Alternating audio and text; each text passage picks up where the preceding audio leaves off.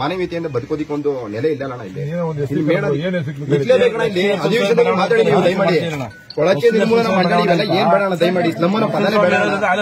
ನಮ್ಮ ಹೊರಗಡೆ ಮಾತಾಡೋ ರೀತಿ ಬೇರೆ ಒಳಗಡೆ ನೋಡೋ ರೀತಿನೇ ಬೇರೆ ಮೇಲೆ. ಈಗ ಗುರು ಅದ್ರಲ್ಲಿ ಅವಮಾನ ಏನಲ್ಲ? ಏನ್ ನೋಡು ಯಾರ ಅವಮಾನ ಅಲ್ಲ, ಅದು ಗುರು ನಿಮಿಷ ಯಾರ್ಯಾರ ಮನಸ್ಥಿತಿ ಹೆಂಗ್ ಇರ್ಬೋದು ಹಂಗಂಗ್ ಮಾತಾಡ್ತಾರೆ. ಅದ್ರ ಬಗ್ಗೆ ನಾವು ತಲೆ ಕೆಡಿಸ್ಕೊಬಾರ್ದು. ಏನು? ಇದನ್ನ ನಾನು ಬಡವ ಅನ್ನೋದಕ್ಕೆ ಬಡವನೇ ನನ್ನ ನಾನು ಬಡವ. ತಪ್ಪೇನು? ಯಾವನೋ ಏನೋ ಹೇಳೋದಕ್ಕೆ ಬದುಕಕ್ಕಾಗಲ್ಲ ನಾವು. ಅಧಿಕಾರಿಗಳನ್ನ ಯೋಚನೆ ಮಾಡಿ ದಯಮಾಡಿ ಅವರು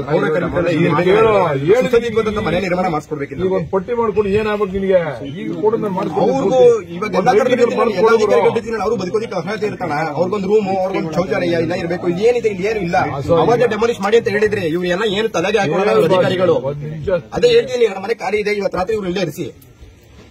ಇವತ್ತು ರಾತ್ರಿ ಇಲ್ಲೇ ಇರ್ತಾನೆ ಅಧಿಕಾರಿಗಳ ಸುಮ್ನೆ ಕೂಗಾಡೋದ್ರಿಂದ ಕೆಲಸ ಆಗಲ್ಲ ನಿನ್ಗೆ ಏನಾಗಬೇಕು ಒಂದು ಪಟ್ಟಿ ಮಾಡ್ಕೊಂಡು ಮಾಡಿಸ್ಕೊಡ್ತೀನಿ ಸುಮ್ನೆ ಕೂಗಾಡಿದ್ರೆ ನಿನ್ಗೆ ಏನಾಗಬೇಕು ಒಂದು ಪಟ್ಟಿ ಮಾಡ್ಕೊಂಡು ಇಲ್ಲಿ ಏನಾಗ್ಬೇಕು ಅದನ್ನ ಮಾಡಿಸ್ಕೊಡ್ತೀವಿ ನೆಕ್ಸ್ಟ್ ಮೀಟಿಂಗ್ ಅಲ್ಲಿ ಲಕ್ಷ್ಮೀ ನರಸಿಂಹಸ್ವಾಮಿ ಬಡಾವಣೆ ಅಂತ ರೆಸಲ್ಯೂಷನ್ ಮಾಡಿ ಬೋರ್ಡ್ ಹಾಕಿ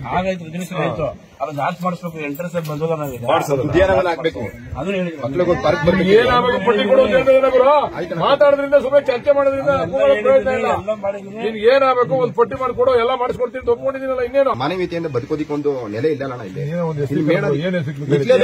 ಅಧಿವೇಶನದಲ್ಲಿ ಮಾತಾಡಿ ನೀವು ದಯಮಾಡಿ.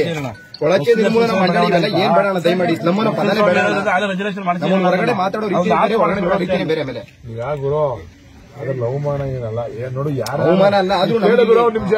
ಯಾರ್ಯಾರ ಮನಸ್ಥಿತಿ ಹೆಂಗ್ ಹೆಂಗಿರ್ತದೋ ಹಂಗಂಗ್ ಮಾತಾಡ್ತಾರೆ. ಅದ್ರ ಬಗ್ಗೆ ನಾವು ತಲೆ ಕೆಡಿಸ್ಕೊಬಾರ್ದು ಏನು ಇದನ್ನ ನಾನು ಬಡವ ಅನ್ನೋದಕ್ಕೆ ಬಡವನೇ ನನ್ನ ನಾನು ಬಡವ. ತಪ್ಪೇನು?